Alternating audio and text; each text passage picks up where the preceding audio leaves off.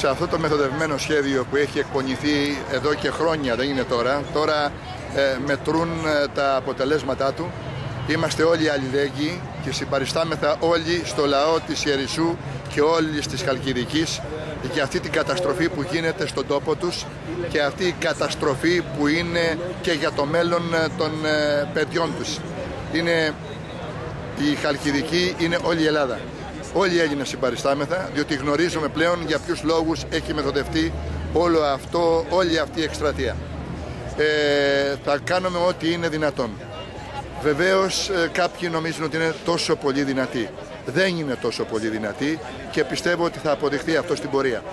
Πάντως έχω να πω ως νομικός, ως δικηγόρος που υπερασπίστηκα κάποιους ανθρώπους εκεί που συνελήφθηκαν εντελώς άδικα. Ε, πολύ άδικα συνελήφθησαν, πολύ άδικα φυλακίστηκαν και πολύ άδικα κατηγορούνται οι περισσότεροι από αυτούς, για να μην πω όλοι.